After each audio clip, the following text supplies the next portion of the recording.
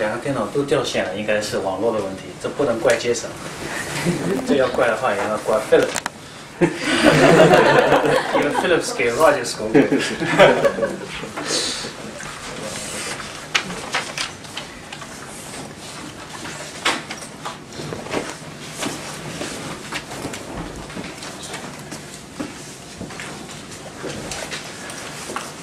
呃，弟兄姐妹平安。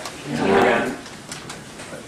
本来是我想请 David 弟兄还是给我做这个翻译的啊，但是呢，考虑到他最近英文忘得差不多了，但是呢，在中文的这个读圣经讲道的上面有很大的长进，所以我刚才我们也是呃希望能够全教会弟兄姐妹啊一起来听一听这个弟兄在呃神的道上有没有什么长进，他的长进在哪里？呃，这个。对我们成年的弟兄姐妹都是一个鞭笞，对年幼的这个弟兄姐妹也是一个鼓励。我想大家希望大家把这位弟兄放在大家祷告里面。啊，在教会的传道人当中，男人越来越少了，啊，这是不对的。呃，下一代的人在教会里面人也越来越少了，所以教会就已经很多现代的教会已经变成妇女会了。啊，那个，而且是老年妇女会，这个是，这个是跟神的教会原来的这个神对教会的旨意是是是不一样的。因为这个缘故，大家珍惜我们教会有这么多弟兄啊，在教会里面做服饰，不是装模作样的服饰，乃是真心的服饰。而且我们也看见，不但有啊九十岁的牧师在这里做传道人，我们还看到二十来岁的年轻人也在成长。这是上帝的恩典，我不知道大家觉得他讲的怎么样，但是他讲的怎么样不重要，其实他讲的是不是真理就很重要，是不是这样？啊，我相信大家有耳朵听到了，他讲的非常的好，我们为此来感谢神。呃，一个基督徒走天路的时候，我们叫天路客，走天路客就是信主了以后人走路叫天路客。那天路客呢，他有可能是走得好，有可能是走得不好。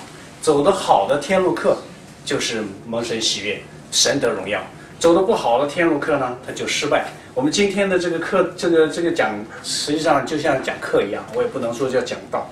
这是艺人罗德的一个失败。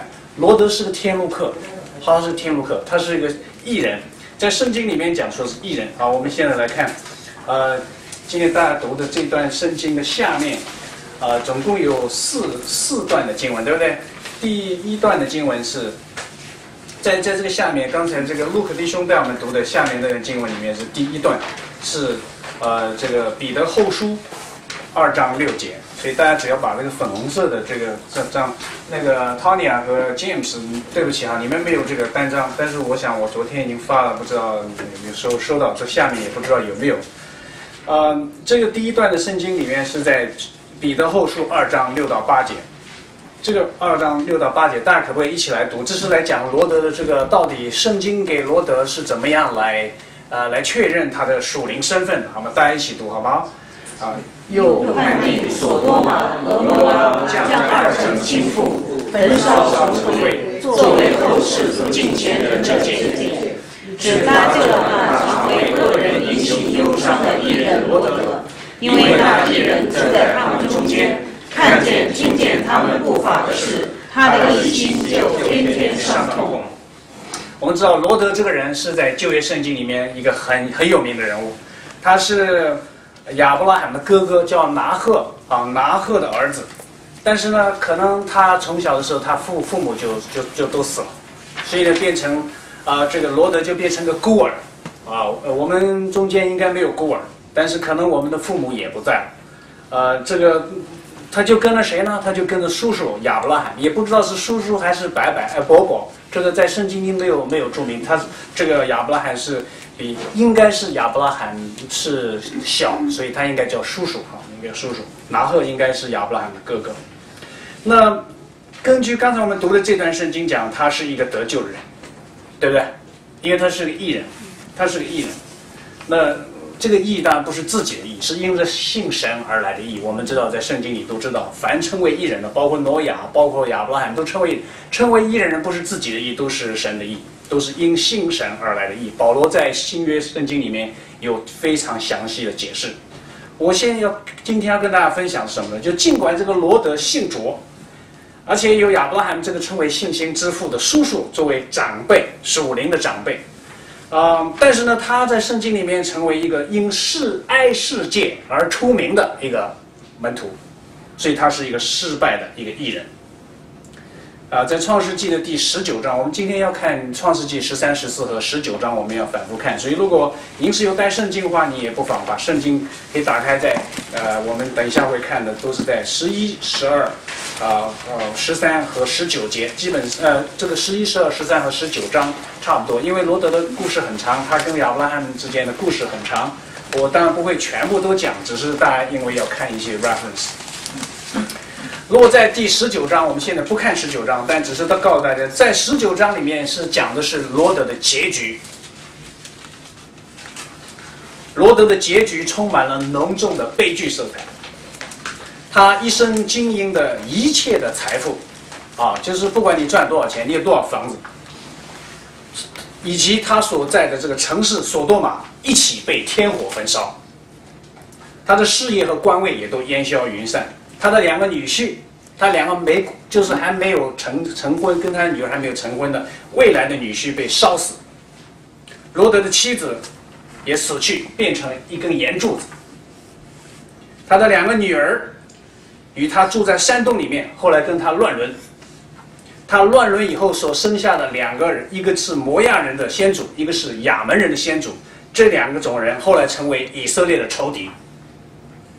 与上帝的指明跟神的国作对，所以读到罗德的结局的时候，每一个基督徒都也都会扼腕长叹。如果你觉得无所谓，你就很危险了哈，弟兄姐妹。所以罗德的生平实际上给我们一个很严重的一个警告，就是如果也也许你有得救的经历啊，或者你跟从过一个很属灵的人，你或者也具备很多的恩赐，神给你很有利的属灵条件。或者说你表面上看起来我在教会都一切都很好，没什么大错。但是呢，甚至说你可能跟罗德一样，哎呦，我的一心也天天为世世人的这个淫淫乱，跟跟为多伦多的人的淫行而忧伤。但是哈，但是如果大家你心里的这个骄傲没有除去，你爱世界的心没有除去，你可能成为一个失败堕落的人。不但没有让主。这个呃，这个有荣耀，而且你会让主蒙羞。我们现在就来看看罗德失败的原因到底有哪些。但是我要在这之前，先要提醒我自己，也提醒诸位，我们要是看是要看自己有没有罗德一样同样的问题。好，在这个教会里面，很多时候有两种人，他们听到是为别人听的。为什么？他听完道以后，他听到的时候，他是用来把这个听完的道理，我是是对某某人很好。有没有这种情况？当然有的，但是有两种人是专门拿圣经的话去套别人，不套自己的。一种人是假冒伪善的人，他不是基督徒，他不是基督徒，那他常常是拿圣经的话去套别人，拿圣经的话去套传道人，甚至拿圣经的话跟传道人说：“你应该闭嘴，因为你没有资格讲道。”所以今天无论是 David 还是 Luke 还是我 Michael，啊，站在这个地方，包括老牧师，没有一个人有资格讲道。但是呢，我们。传信主的人是要传道啊，要传道。所以，但是我只跟大家讲，就希望大家了解，一个人，一个假冒伪善的人，他是听到为别人听的，是用来套别人。第二种人是在属灵上比较幼稚的基督徒，他们常常听的时候，哎呀，我巴不得我丈夫也在，我巴不得我妻子也在，巴不得某某弟兄姐妹今天也在场。他听了以后，他会悔改。啊，当然这个你的心我们都理解，我自己也是这样过来，我以前也替别人听到，但是啊，神说你要为自己听到。所以今天我们回顾罗德的教训的时候，请记住，你不是去检查别人是不是像罗德，乃是检查自己是不是像罗德。啊，这个你也许发现我自己还不如罗德呢。那如果我我还不如罗德，那我的结局也许比罗德更惨呢。这就是我们听到的目的。呃，我们先来看几个原因哈，就是为什么罗德失败。罗德是个艺人，也就是说，我们用现代话来说，罗德是个基督徒，他为什么会失败这么惨？最后的结果是他成为上帝的国的仇敌，他的后裔。第一件事情，我们来看是他的信仰根基不牢固啊。第一点，我们总共要看六点。第一点是信仰根基不牢固，他不牢固什么呢？他只跟着人，他不跟随神，啊，就是说他盯着人看，他不盯着神看。我们来看这个，在创世纪第十一章三十一节开始，啊，请大家看创世纪的第十一章三十一节。所以你把圣经打开，我们一节节朝下看，我们大概要看六七节经文的关系。这一段是只一个简单的介绍，他是怎么跟着人走的啊？在创世纪十一章的三十一节，塔拉，塔拉是谁呢？亚伯拉罕和拿赫的爸爸，也就是说是罗德的爷爷。罗德的爷爷塔拉带着他儿子和他孙子哈兰的儿，呃，和呃这个儿子亚伯拉罕和他孙子哈兰的儿子罗德。呃，并且他儿媳儿父亚伯拉罕的妻子萨莱出了加勒底的乌尔，要往迦南地去。他们走到哈兰，就住在那里。啊，那么这个在这这这是一节，是他们他们离开加勒底的乌尔，加勒底就是巴比伦，巴比伦的乌尔。好，在第再翻到下一章，创世纪的第十二章的第一节，这个罗德跟着他叔叔出了乌尔以后。在十二章的第一节，是耶和华对亚伯兰说：“你要离开本家本族富家，往我所要指示你的地去。”这是跟着他离开，就这个是要干什么呢？这个罗德跟着亚伯拉罕离开这个哈兰，去到哪里呢？要到所要指示的地方去。在第四节下面啊，在十二章第四节说，亚伯兰就照着耶和华的吩咐去了，罗德也和他同去。这个亚伯兰出哈兰的时候七十五岁，那么这个时候罗德明显因为是他的侄子，所以他一定年纪是比亚伯兰还要轻很多了啊。这第五节什么呢？第五节说亚伯兰将他的妻子萨莱和侄子罗德，连他们在哈兰所积蓄的财物、所得的人口都带往迦南地去，他们就到了迦南地。在第十节，第十节是一个换了个地方，他什么呢？因为迦南地遭遇饥荒，因饥荒甚大。亚伯兰就下埃及去，到了埃及去了，要在那里暂居。我们后面会看到，这个埃及实际不是耶和华要他去的，是他自己去的。埃及是在圣经里面代表世界。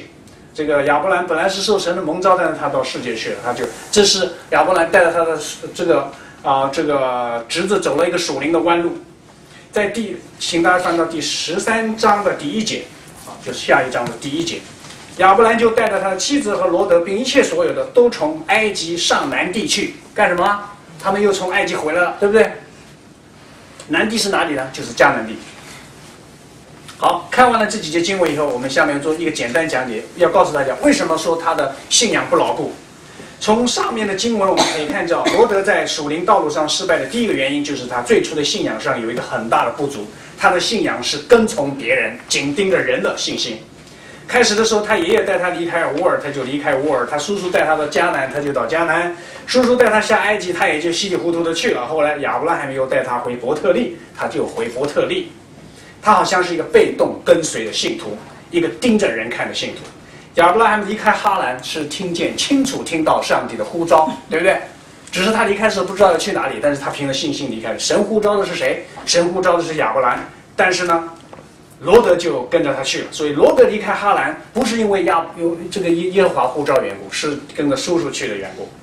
有些弟兄姐妹起初因为佩服某一个基督徒行为很好，所以他就信认识主，但是他的你的信心呢不应该建立在你所佩服的这个人身上，应当建立在那完全纯洁善良这个的圣洁的恩主的耶稣的身上。啊，这个恩主就是刚才 David 弟兄所讲到的，Luke 弟兄所见证的，啊，这么一个恩主耶稣，那样的信心你才稳固。还有一些不成熟的基督徒喜欢崇拜一些名人，一些有被被主重用的一些属灵的一些伟人，啊，很多基督徒，我希望大家不要啊，就啊，不需要用这样的口气来介绍。哦，某某人是个大牧师、大布道家、大神学家，为什么要加上个大呢？弟兄姐妹要谨慎，没有一个属灵的人，一个属灵的伟人，真正值得我们崇拜或者敬佩的。否则，你今天因崇拜这个某某某某大牧师、大神学家而站立，明天你可能因着他跌倒就跌倒。在美国，一个已经服侍了五六十年的一个非常有恩赐的一个牧师，最近他公开承认他六十年的酒瘾。他常常是老老老婆都不知道，六十年喝酒他老婆不知道，而且他是酗酒。那你要为这个大牧师，你要说什么呢？你是要站立还是要跌倒呢？啊，所以传道人他不是神，大家不要搞错。亚伯拉罕虽然把罗德带出了乌尔和哈兰，但是也曾经把罗德带到埃及去，对不对？我们刚才讲了，埃及是代表世界，不是上帝的应许之地。所以这样的事情本身就是个例子，提醒我们诸位，我们不是跟着人走。啊，我们教会有一个非常敬虔的老牧师，但是我们教会不是跟着老牧师走。我们教会有非常有恩赐的啊一些弟兄在教会里面，我们不是跟着弟兄们走，我们乃是跟着神走。这个是要大家牢记。我们的信仰不能单建在耶稣的，应该要单单的建造在耶稣基督上，什么都不可以。如果我们有一个两万人的教会，这教会也靠不住。罗德失败头一原因就是他在灵性上第一个阶段就种下失败的祸根，他有信仰的危机，使得他后来就跌倒。我们不能说，我们不是说你不能因为呃呃这个啊这个这个敬重一个人啊，看去被一个基督徒的一个善行所感动而认识主，我不是这样说，我是说乃是你信主的以后开始，你就要跟着主了，就不能再跟着这个基督徒了，这个带你归主的那个人了啊，因为要不然你要是。跟着人你就危险了，所以弟兄姐妹会从这个第一点的里面，他的信仰根基不牢固。我要请问每一个基督徒，请问自己，你有真实的信心吗？你是跟着主还是跟着人？你是盯着主还是盯着人看？你是奉献给主还是奉献给人看？啊，这是第一点。第二点是什么呢？罗德身上有今生的骄傲啊，他骄傲。他骄傲导致他不顺服人，也不顺服神。大家来看这个创世纪第十三章，我们刚才读了第一节，对不对？我们从第一节一直看到第十一节，我简单的给大家读一下，快速的读一下。大家有圣经的可以一起自己可以一一直读下去就好了。从一章十十三章一到十一节。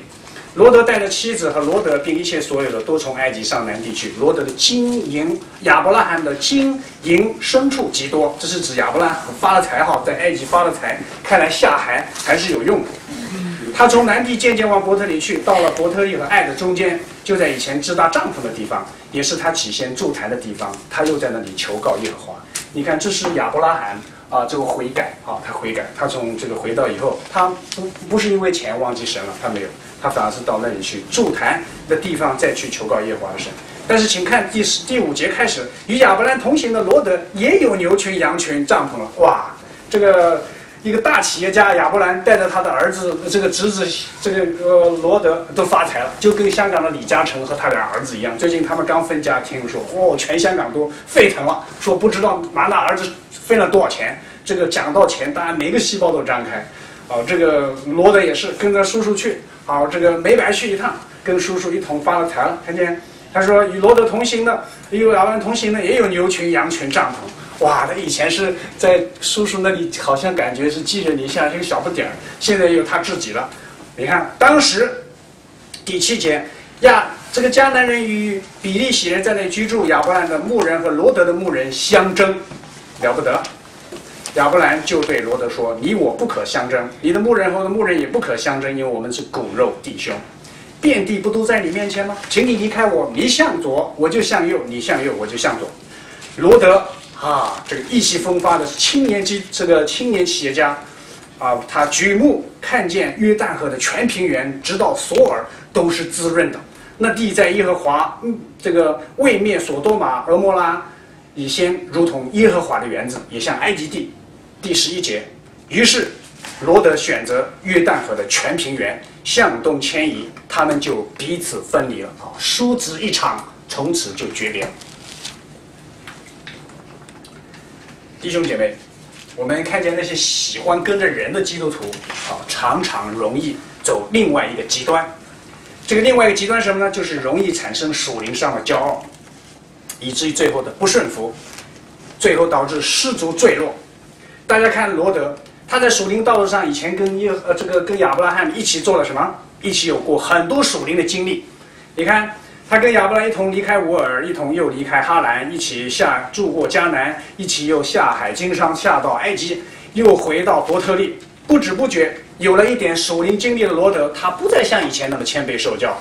从前的罗德，以前我们相信他很尊重叔叔了，因为他看见亚伯拉的爱心，从小就受叔叔的看顾照顾，心里很受感动。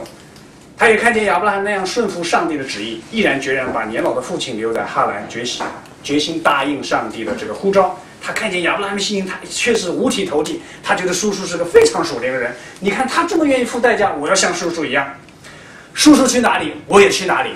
这个要小心啊，这个就是他的问题。但是不久以后呢，这个亚伯拉罕下了埃及了。他在埃及做什么事？大家如果读圣经的弟兄姐妹就知道，他撒谎。他怎么撒谎？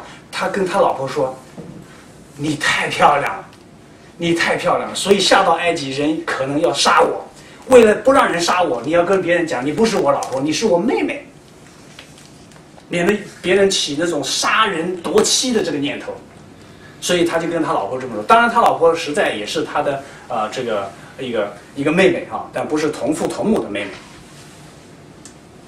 你看，那么做了这个事情以后，他在埃及撒谎，后来差点，他老婆是不是被真被东西？他老婆真的被埃及王给拿去了，差一点做了别人的老婆了。所以亚伯拉罕下埃及去，本来是去躲避躲躲避饥荒，想去去去弄点银子的，没想到差点让连老婆都赔进去。但这些丑事呢，是被罗德知道了。好，所以如果我们中间的属灵的长辈一点的，我们属灵上得救早一点的。我们是带着一个人介绍一个人认识主的这些人，我们的言行非常重要。我们不要把人带歪了，不要因为别人年年幼的基督徒啊，比较年轻的基督徒被我们啊这个绊倒。但是呢，大家看见他他他这个这个这个罗罗德现在问题就看到他叔叔原来光辉形象、高大形象也不过如此。而且呢，叔叔发了财，现在我也发了财，我也住在自己帐篷里面。这个帐篷是什么？就像我们现在的房子，当然就不像是那个索多玛里面的房子，乃是一个可以移动的帐篷。在圣经里面也很重要啊，还有专专门有个祝棚节的，在在这个犹太当中。所以，啊，这个他就发现一个问题，大家发现一个问题，罗德就对亚伯拉罕的态度不一样，他开始不把叔叔放在眼里了。现在他认为自己灵性上已经有了一些资历。他认为自己也是老基督徒了，我在教会好些年了，我也可以做领袖了，所以他就开始骄傲，开始瞧不起自己的叔叔，开始对叔叔不顺服。为什么？当然，我怎么说？为为什么说不顺服呢？他纵容自己的牧人和亚伯拉罕的牧人相争。啊，别小看这件事情。第一，他比亚伯拉罕小一倍，是不是？第二，他是跟着叔叔一直到如今，他是胆大胆大啊。弟兄姐妹，有有些基督徒啊，我们对照自己是不是有这样，以为自己在属灵的事情上有了一些经历啊？啊，有的人说我读了一点神学啊，有的说我传福音传了不不少了，啊，我做了一些贡献，也有一点成绩，就开始骄傲自满，已经忘记我们服侍神、传福音都是上帝的恩典。有人能因为我们传福音而得救，这个恩典不但临到那得救人，这个恩典也是临到我们传福音的人。所以大家不要搞错，以为是哦，你看我我多了不起，这是一种真正的危机，啊！所以基督徒三四年以后，就跟你刚开车的人三四年以后就非常危险，啊！你就这个时候你往往容易骄傲。起先的罗德呢做错了，他一味跟着叔叔盯着人看，这是一个极端。但是现在的罗德走另外一个极端，他怎么两个极端都错哈？以前这个亚伯拉罕罗德一起走。到埃及去，在属灵上走了弯路，但是大家发现亚伯拉罕下埃及回来以后更加敬畏神，罗德却不是这样。罗德呢不再爱主了啊，他从埃及回来以后呢，他们俩就分家了，是不是？这差别很大。看起来表面上罗罗德和亚伯拉罕差不多，但是实际上差远了啊，差远了。我们刚才讲这个亚伯拉罕从从埃及。在世界上去转了一圈以后，回来悔改以后，继续跟神同住，他继续的求告耶和华的名，继续回到他立坛，呃，这个祝坛求告神的地方。但是呢，呀，这个罗德不一样，罗德不在西海，亚伯拉罕这个他属灵的这个长辈，一个爱他的主内的手足弟兄，他甚至不惜以下犯上与叔叔相争，这是他一生中最大的亏损。也是他最危险的决定。为什么道理？他离开这个，自从他离开亚伯拉罕以后，他落单而去，一骑绝尘。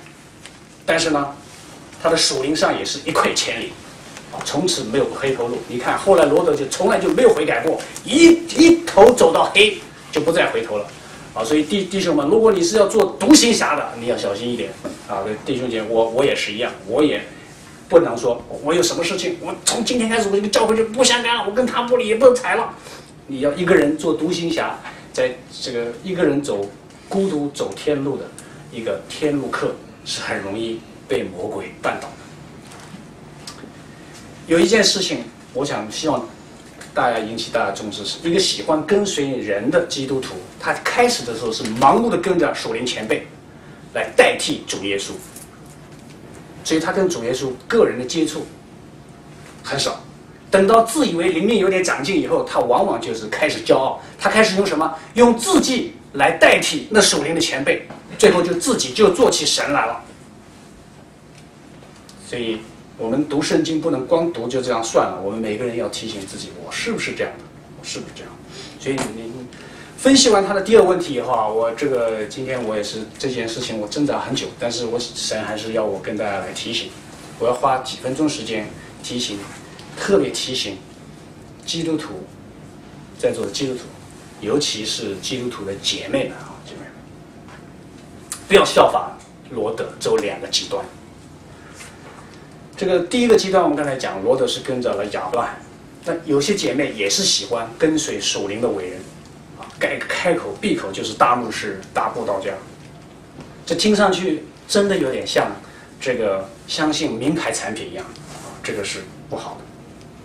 很多时候在教会里面，我们也看见啊，很多的教会姐妹信主信的快，信主人数多，呃，也很火热，很投入，啊，都感谢主哈。很多教会的这个第呃，很多教会里面的姐妹确实啊，在主里面有很多的劳苦，做很多的事情，但是呢，感情色彩呢也比较浓一些，呃，姐妹的这个属灵上的分辨能力呢相对不够。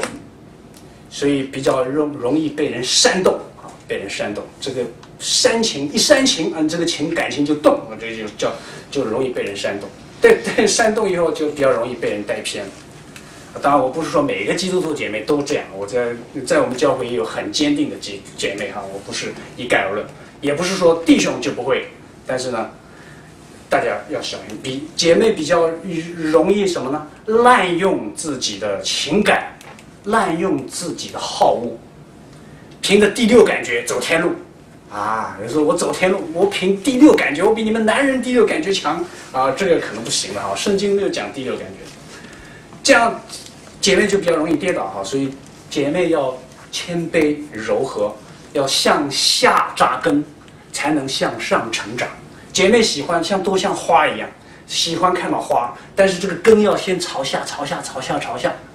Make sure 啊，Make sure 你你这个根够深，这个根深了，根从土里面接的这个土壤里面，这等的养分，那才让那个花开出来。那花开出来不能光光开花不结果，它还会结果。所以这根不深，就既不会开花，开出来的花也跟无花果树一样不结果子，这个就不好。第二个极极端是姐妹们容易像罗德一样跟亚伯拉罕去相争。啊，我在这里不是要攻击某一个或者大家所有的姐妹，但是许多的姐妹一直跟丈夫相争。信主以前，我咱就不用说了哈，我们从中国大陆来的姐妹，这个个都是铁娘子，啊，都是巾帼英雄。这个所谓巾帼不让须眉，我们从小就是这么受训练，个个都是超级女人，没有一个省油的灯，个个都是神，个个都是神。那信主以后呢，我们。这这个不不但是我们这个弟兄啊，姐妹是不是应该都已经死了？得救的基督徒是应该要死了的才行。如果没有死过，你就不能得得救。那在基督里死了啊，不是我们肉体死了，肉体还没有死。那既然你已经死了，那你为什么还要跟丈夫继续的相争相斗，像罗德斗亚伯拉罕一样呢？有的姐妹说我没有斗啊，你不是明争就是暗斗。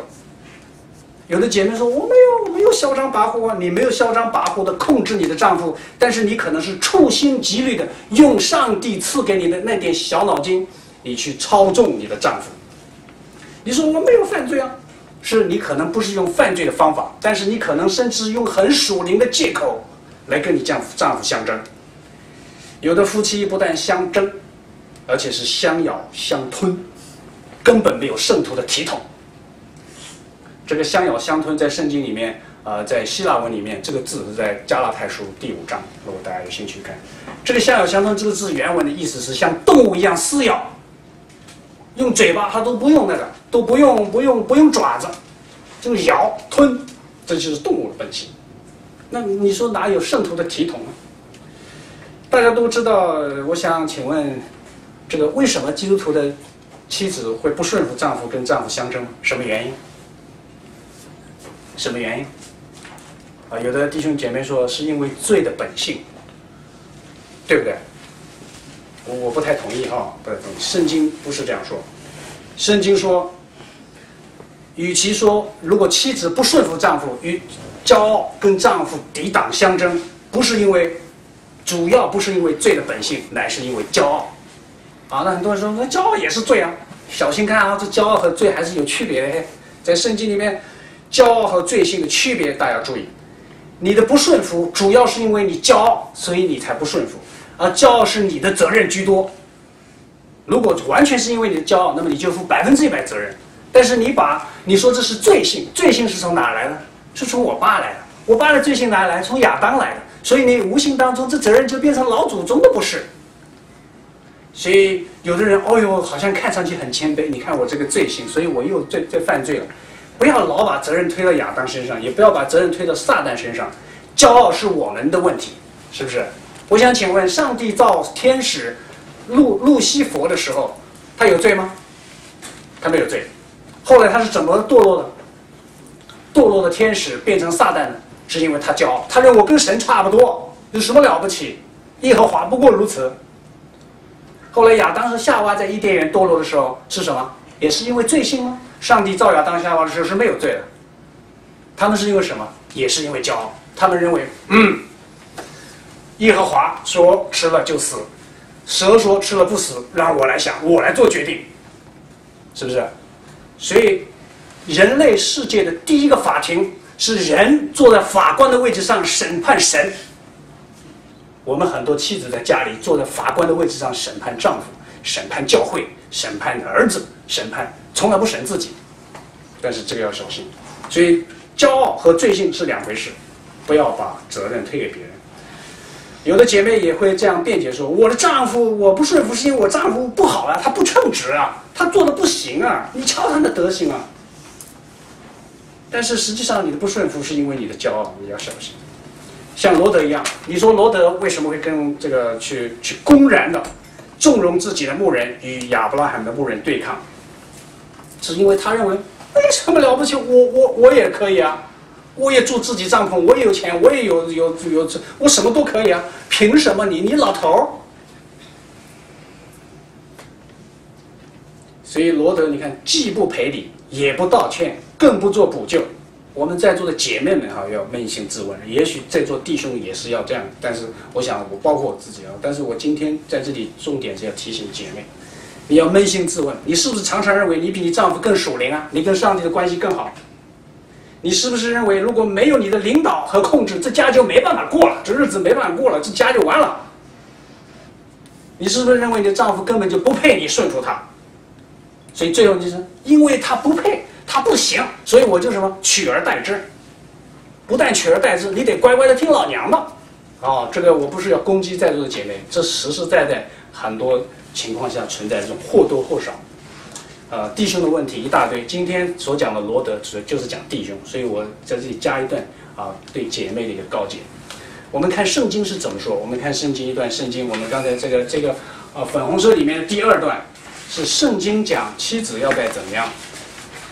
圣经在以弗所书第二章和第五章的二十二节到二十四节，大家一起来读好不好？不光姐妹弟兄一起读好不好？你们做妻子的当顺服自己的丈夫，如同顺服主，因为丈夫是妻子的头，如同基督是教会的头，他又是教会全体的救主。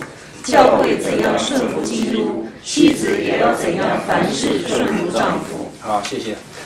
这段圣经写的很明白，圣经怎么说？他说妻子只要顺服，而且是一味的顺服。呃，姐妹说对，没错，但是 圣经没有但是，圣经后面没有跟但是，圣经没有说你们做妻子的当顺服自己非常非常非常敬虔的丈夫，非常非常非常敬虔完美无缺的丈夫。圣经甚至没有说你们要顺服基督徒丈夫，在丈夫面前没有形容词，没有定冠词。圣经也没有说要非常非常非常属灵的丈夫才是妻子的头。所以，如果你是基督徒，你丈夫不是基督徒，你也要用你的丈夫为头啊。顺服和顺从是两回事，但是这个是另外一个主题。我只是想提醒大家，我们的问题。不是我们不顺从丈夫，乃是我们不顺服丈夫。不顺服的根是因为我们的骄傲。圣经把顺服丈夫，大家注意到一看，在第这个第五这个第二十二节到二十四节，刚才我们读的这段圣经什么？把顺服丈夫和顺服基督相提并论。所以大家想象一下一个一个 picture 啊，一幅图画，一个一个基督徒妻子扬起自己高傲的头，她把自己头抬起来。他要抵挡基督给他的那个头，所以你在家里是两个头，两个头的是怪物，不是人来的。你挑战的不但是丈夫，你挑战的是基督和他的权柄，基督和他的权柄。一个姐妹只有真正顺服基督的权柄，才会真正顺服丈夫的权柄。一个不是真正顺服丈夫的基督姐妹，她内心深处也是不会顺服基督徒。啊，基督和上帝的权柄的，你甭甭说，你嘴巴讲的动听没有用。也许，甚至有的姐妹说我很顺服主的，但是那可能是你的错觉，或者是自欺欺人。而且大家常常注意到啊，因为我在一些教会也看到，有的时候甚至在我们自己教会都看到，一些在教会里面那些指手画脚的、啊评头品足的、发号施令的，甚至在那里发飙的这些基督徒的姐妹。常常在家里就是不顺服丈夫了，常常是不孝敬长辈，因为他目无尊长，是因为他目无神。有些基督徒的姐妹甚至挖空心思的要控制自己的丈夫，这是一种无知，一种极大的无知，也是一种犯罪。希望有这样问题的姐妹要好好的反省，要好好的悔改。我想跟大家分享一个信息，是最近一篇重要的调查报告，在基督。在北美洲的教会里面，非啊引起很大的震震动。这份报告是以以无可争议的统计数据和合场的调查为根基，向我们揭示西方的教会，啊教会在西方衰落的一项重要的秘密。我跟大家讲过，在过去四十年当中，伦敦关闭了三千间教会。英国伦敦，英国伦敦是美国教会的发源地。四年当四十年当中关闭三千间教会，一年要关一百多间，将近一百间。大家知道，他这份报告里面数据数字非常的这个这个这个详细，原因是女权主义在教会兴起，它颠覆了上帝创创造的这个秩序，所以结果是什么呢？结果是。女人先把丈夫从家里挤出去，然后把男人从教会里面挤出去，然后再把孩子们从教会挤出去。所以神的教会已经是乌烟瘴气、不像话。你看北美洲很多的教会有有孩子们吗？没有。有孩子的这些很多的聚会也都是干什么？跳舞的、玩的、party 的。那是娱乐的，那只是个青年 club，youth club，不是一个一个一一个像我们星期五晚上在 Alex 家里的那种茶经聚会，那才不是呢。有的美国教会，甚至什么，把主导文都改了。大家知道主导文怎么背？我们在天上的父，是不是？你知道他们怎么改？我们在天上的妈，真的，Our Mother in Heaven。全教会开始敬拜前都站起来讲主导文吗？讲主导文的是就是 Our Father in Heaven，但是他怎么说？他说 Our Mother in Heaven。他说上帝也许是个女的，这是对神的亵渎。中国大陆来的基督徒姐妹都是，也许不认为自己是女权主义。他说我不是啊，我从来没接触过女权运动啊。也许你不用这个名字，但是只要你在中国读过一点书，你在中国看过一点报，你在中国受点点洗脑的话，十有八九都有女权主义的思想。请姐姐妹们自己要谨慎。基督徒的姐妹本来应当在家里在教会做顺服上帝、顺服丈夫的表率，无论在孩子的面前，还是在教会里面，或者是在不信主的人的面前。可惜很多的时候，基督徒的妻子且做榜样，率先挑头来挑战和和这个叛逆上帝所安立的丈夫，所以很多的基督徒的丈夫在家里是灰头土脸的。问题不是出在丈夫身上，不主要在丈夫身上，问题是在那个。骄傲的，背叛神、挑战神的权威的那个，不要上帝给他的那个头，他要扬起自己高傲的头的那个女人。所以我们要谨慎。很多的这个基督徒姐妹在家里做监督、做长老、做执事、做老板、做领袖，反正我就家里的主了。有一个孩子这么说，他说：“我们家有仨主，有三个主，有三个主，一个主是主耶稣了，第二个主是我爸。”所以主耶稣说的事儿，我不不算，我等下去问我爸。但是最最最算话的是第三个主，就是我妈，啊，我妈才是做主的，我妈在家里是真正的主。所以家里这孩子看来家里有三个主，有三个神。但愿大家我们信主的姐妹都做一个顺服主、顺服丈夫、有头有面的女人，有头有面的女人，一个不尊自己的丈夫为大的。男这个女人，她根本就没有头。这是第二点啊，我讲的稍微在这个方面做了一点引申，但是希望大家要看罗德的问题，主要是骄傲，骄傲使得他不惜公然挑战，啊，公然挑战他本该顺服的这个叔叔。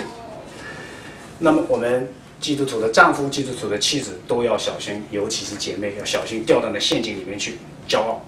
第三个原因，罗德跌倒的第三个原因是什么？财富的残累啊！财富的残累，财富的残累是什么呢？他就侍奉马门，不侍奉神了。我们知道这个罗德后来是怎么跌倒的。我们来看《创世纪》第十三章的六到七节。十三章六到七，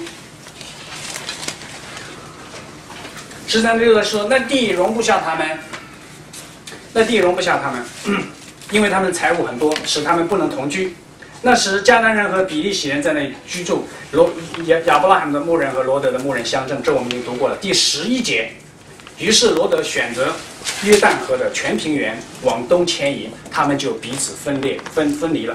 这是可能是啊，在加勒底的第一个教会就分裂，就俩人，但是他们就分了。使罗德堕落的第三个原因就是他在埃及回来以后就发了财，钱财使得罗德变了一个人。罗德财大气粗，说话大声，做事大胆了。罗德以前是孤儿，只能跟着叔叔，但现在他不再是个穷光蛋了哈。我们看见他根本就是个有钱人，他也有一群仆人了。为什么有仆人？他的牧人敢去挑战这个亚伯拉罕的地盘啊！大家看见，这他也有打手了，所以他可以与叔叔一争高下，一这个要争江湖了。弟兄姐妹，我们在家里是不是也都一样？是不是谁有钱谁说话大声？啊，我知道这个以前我们没信主之前，通常是这样。希望大家信主以后不要这样。啊，这个不但在自己家里是这样，在主的教会也是这样。啊，这如果在教会里面比较富有一点的弟兄姐妹，要更加的谦卑。你在教会里面奉献多一些的弟兄姐妹，不是说你奉献多，你你你你就就发言权就大。有的教会是什么呢？谁的奉献多，谁就做长老执事。啊，那这个我们不是这样，因为这是非常危险的错误。为什么？教会的主是耶稣，不是钱啊。罗德年轻轻就变得富有，这是我们对我对在座的基督徒的爸爸妈妈们提一个提一个共共勉的这么一个圣经里面给我们的一个教训。从罗德身上，罗德年轻轻的就变为呃变得很富有，使得他忘乎所以。呃，弟兄姐妹，我们当中，我我们有年长一点的孩子，有年幼一点的孩子，但是继承父母的财富，常常导致他们一生走很多的弯路。我们的孩子还幼嫩，你不要把这么沉重的金子银子背着让他走天路。你是好心了哈，你是好心，但是常常是成为他们走弯路的主要原因。这个富二代、官二代、有钱的都不咋样。罗德和叔叔亚伯拉罕都富足了，结果他们反而不能同住。罗德因为钱财多，他失去了一个重要的属灵的伙伴，使得他的属灵角落后来我们就看到一泻千里，一泻千里，到最后的结局是惨不忍睹。所以基督徒父母要万分谨慎。如果你殚精竭殚精竭虑、苦心经营的钱财，很有可能成为你儿女的残累，甚至致命的网罗。网罗是什么？捕鸟吧，我们捕鸟，就像蜘蛛网上面抓了蚊子、苍蝇一样，一粘就上去，那是致命的。儿女从那里不劳，从父母那里不劳而获拿来的钱财，往往是对他们人生最大的破坏和侮辱。你是把你骄傲的财富给你儿子，你看老爸多厉害，我一生积蓄那么多钱财，拿去房子多大，车子够好。罗德和亚伯拉罕因钱财分离，很多教会呢也是因钱财的残累而分裂。好，大家知道这个钱就这么一张薄薄的纸，可惜这王八蛋他吞噬过很多人的良知，他也离间过很多的友谊，也拆散过许多的夫妻。啊，拆散过许多的夫妻，那个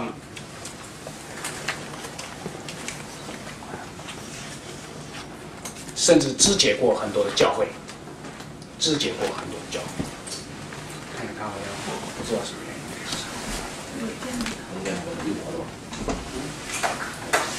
因。奇怪。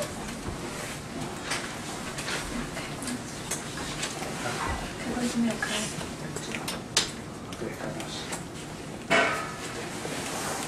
这个是个陷阱啊！这个开关我们已经开了，这个我们要好好的要跟 Jason 在 work out technical。啊，这个这个是亚伯拉罕和罗德这个钱财分离导致的问题。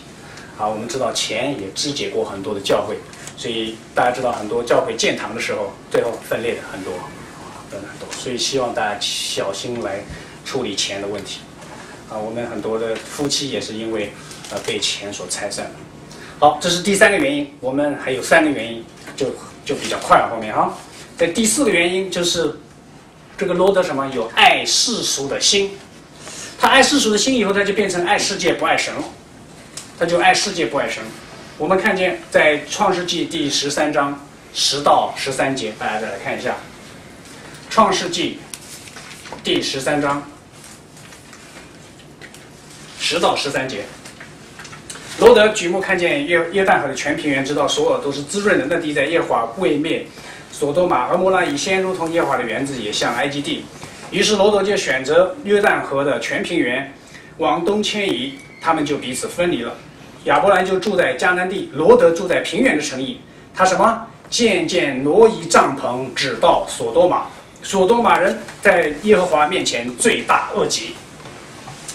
这个罗德灵性坠落的第四个原因，是因为他爱世界的心增加了。罗德，这个亚伯兰姿态很高啊。亚伯兰说：“你先选吧，你先选吧。”这罗德当仁不让，哈哈，真的哈，他就选择了最滋润、最茂盛的平原。这看起来罗德聪明啊，而且很自然啊。但是这里面反映出罗德的自私，他的贪婪，他爱世界的心。他做出了这个自以为聪明的抉择，但是最后这个选择被证明什么？这个聪明的选择被证明是致命的，是灾难性的。罗德分得了好地，他没有得什么好结果。罗德和亚伯兰分地之后，罗德与他这个罗德就在索多玛与俄摩拉的附近安顿下来，他又再次做出一个错误的决定：你分得一块好地就算了？他要非得要靠近索多玛。和俄摩拉，所以这又是个错误。这两个城市很富有，他是因为那两个城市的富有而羡慕。我都在想，有时候罗德肯定在想：哎呀，我要是有一天变成城里人就好了。但是他们罪大恶极。罗德知不知道？罗德知道，因为什么？因为在彼得后书的我们刚才。啊，读的第一段里面啊，在这个在这个黄红叶的第一段里面什么？第一段说，他住在里面是什么？那常为恶人引醒忧伤的艺人罗德，因为呢，艺人住在他们中间，听见他们不法的事，他的一心就天天伤痛，是不是？所以他对索多玛、俄摩拉人的言行，他不是一概不知的，他都知道，但是他是渐渐渐渐就移过去了。啊，圣经有一段这个话，我们是在第三段啊，在第三节大家看见。第三段的《哥林多后书》第四章第十八节说：“原来我们不是顾念看见的，乃是顾念所看不见的，所不见的。因为所见的是暂时的，所不见的是永远的。”这个罗德看选的是什么？看得见的，是不是啊？他选择看得见，所以呢，他不，他就他就去顾念那看得见的，他看得见的是暂时的。所以弟兄姐妹，也许你的存折很厚。但是那只是你看得见的，那是暂时的。亚伯拉罕就不一样。我们刚才这个卢克路呃卢克耀弟兄带我们读的这段，在希伯来书的这段圣经里面，这个最上面这段上面写的什么？他说，他说亚伯拉罕是在等什么呢？亚伯拉罕是在第十一章的第十节，好看，那等候那座有根基的城，就是神所经营、所建造的。这个索多玛是人所经营、所建造，看起来色彩斑斓，这个炫目，这个耀眼。但是呢，它不是。所以亚伯拉罕们顾念的是一生住帐篷，等待那座天上有根基的城。亚伯拉罕才是有智慧的近前人。罗德呢，只顾眼前，他住在这个淫乱的索多玛，他是个愚昧人。我们来照照镜子哈，弟兄姐妹，我们是像罗德一样呢，还是像拉伊亚伯拉罕一样？其中一个照镜子的时候，也许照完我们还觉得我们连罗德都不如呢。请大家注意，罗德是怎样一步一步走向索多玛的？看见啊，起初他只是不喜欢和亚伯拉罕再同住，叔叔这个这个在叔叔面前我什么都不能做，这还得这个收这个筋骨，啊，就像我们很多年轻人不愿意跟爸妈住，为了什么？在爸妈眼皮底下那受约束啊那个。然后他就开始羡慕索多玛附近的平原。后来他便渐渐的挪移帐篷，一直挪到索多玛。最后他在索多玛定居。他在索多玛做什么？如果大家看在十九章的第一节哈，我们有就是创世纪的十九章第一节，他坐在城门口。大家知道古时候坐在城门口的是守城的官，那是个蛮不蛮不小的官。所以他这个。说这个罗德怎么了？罗德混了，一官半职了，好在那里。罗德进入了索多玛的什么主流社会了？哇，我是个当官了！我在城里不但做城里人，我还在城里当官了。你看，索多这个罗德不但当官了，他还做什么？还要跟索多玛人联姻了，该是不是？他把两个女儿嫁出去，你看，这个时候女儿就派上用场了，是不是这样？啊，就跟古时候和亲一样。现在我能把女儿嫁出去，嫁个城里人，嫁个这个索多玛市的市长做儿媳妇，那我就发大了，我就我就我就很好了。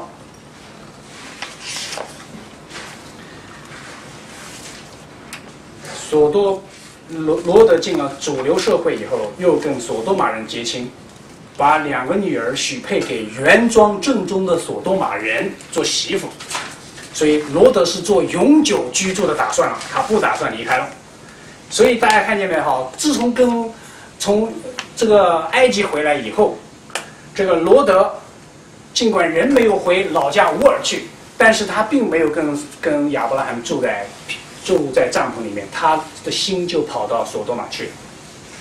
他是一点一点一点的挪，他不是一下就搬过去的。我们的中间的呃基基督徒也要小心，我们不会一下子就滑落到世界里面去的，乃是渐渐的、慢慢的。一点儿一点儿的挪过去。我们有些基督徒有没有觉得最近你圣经读少一点，祷告少一点，偶尔缺个一两次不来主日，慢慢慢慢你发现，哎，可以啊，我少读点圣经，少祷告一点，偶尔缺席两次也没什么问题呀。到最后慢慢的习惯就变成自然，你就一点一点挪过去，最后直到完全的离开主。啊，有的。弟兄姐妹还做的挺巧妙的，因为他一到教会来，他就是个基督徒；他一回家，他就不是了。自以为他是不动声色的在那里挪动自己的这个这脚步，甚至有的是说我很巧妙啊，我移动的一点大家都能看得出来，神不知鬼不觉，鬼不觉神不知，你这个话都是错的。神也知道吗？鬼也知道，只有你以为别人不知道。在《使徒行传》，大家不用去看，《使徒行传》里面有一个故事，是亚拿尼亚和他妻子卖了田地以后欺哄圣灵，最后这夫妻俩都倒闭在彼得的脚前，是因为他们欺哄圣灵。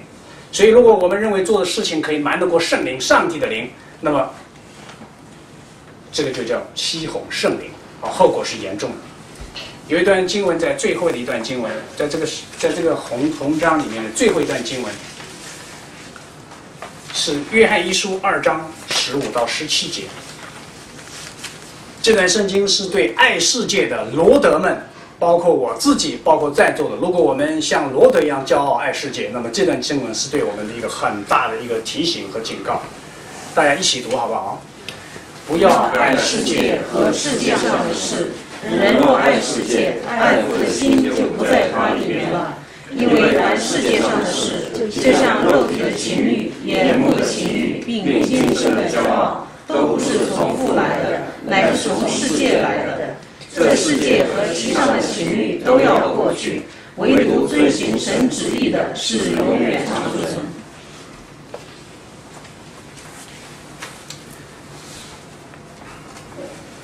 看完这段以后，我们就到 还有最后剩下两点关于罗德的这个属灵的教训，他之所以失失失败。第五点是罗德受了管教不回头，啊，受了管教不回头，他是顺从肉体不顺从神啊，这是他的问题。我们看创世纪的十四章十一到十六节，大家就知道我在说什么。在创世纪十一呃十十四章的啊十一到十六节。这里面说四王四四王是当时有四个王，把索多玛和蛾摩拉所有的财物并一一切的食物都掳去了。这个又把这个亚伯拉的侄子罗德和罗德的财物也都掳去了。当时罗德正住在索多玛，所以说这个罗德成为那里的永久居民。第十三节说，有人逃出来，有一个逃出来的人来告诉希伯来人亚伯兰，亚伯兰正住在亚摩利人曼利的橡树那里。曼利和以实呃以实哥哥并亚拿都是亚亚乃都是弟兄，曾与亚伯兰联盟联盟。第十四节，亚伯兰听见侄儿，大家发现看写有有个括弧，原文做弟兄，就是亚伯兰听见他自己的弟兄主内的弟兄被敌人掳去，他就做什么？他率领他家里生养的精练壮丁三百一十八人，一直追到但，你知道但是哪里吗？但是追到边界上去。便在夜间自己同仆人分队杀败敌人，又追到大马色左边的河拔，便把一切掳掠的一切财物都夺回来，连他侄儿罗德和他的财物，以及妇女人等都什么也都夺回来，妇女人民也都夺回来。在罗德生平当中，这一件事情是值也值得我们非常警惕的，就是当罗德受上帝管教的时候，他竟不知道悔改，不知道回头，他两次的管教，一次比一次的重。但他两次都拒绝悔改，所以他一次、第二次的管教是比第一次更重。现在这是第一次，第一次什么呢？这是一个很也明显的一个警戒，神要管教罗德，让罗德知道你自己是靠不住的，索多玛王也不能保是保护你，世界的享乐和财富你也都不你都是靠不住。我们生在这个世上啊，弟兄姐妹，我们是是没有钱是没有办法，这是不可能活下去。但是呢？我们不应该贪恋这个世界，贪恋这个世界的享乐。罗德受了管教不悔改，你看他第一，他没有感激亚伯拉罕的救助，是不是？是他跟叔叔闹翻了以后，自己还大言不惭的这个挑了最肥沃的土地就一走了之，从此跟他这个叔叔就像形同陌路了。但是呢，他叔叔去救他，他不但没有感激，而且呢。他也没有因此借着这个机会跟亚伯拉罕说：“叔叔啊，我们和好吧。”他们他没有抓住这个机会跟主内的弟兄合一。他也没有借此说：“叔叔，那我们以后一直一起走天路。尽管我住在索多玛，你住在帐篷里面，但是我们一起走天路。”他都没有。相反，他是什么？一意孤行，而且呢，不肯迁离索多玛。呃，这个有的弟兄说：“那也许这个罗德根本就不知道这是神的管教。”啊，他可能甚至罗德说：“这可能正好我运气不好，这又不是我，是是这家打打仗打败了，我城里人都被掳去了。”嗯，好，罗德不知道哈。那我们看第二次，罗德受到第二次更严厉的管教。这是在圣经的第十九章，就创世纪的第十九章。创世纪第十九章，创世纪第十九章里面讲，这个十九章二十四到三十节，二十四到三十节，这是罗德和他的家索多玛的这个很悲惨的一个结局。当时在二十四节说，当时耶和华将硫磺与火从天上耶和华那里降降于索多玛和俄摩拉，那是天火从天上降下来，把那些城和全平原，并且城里所有的居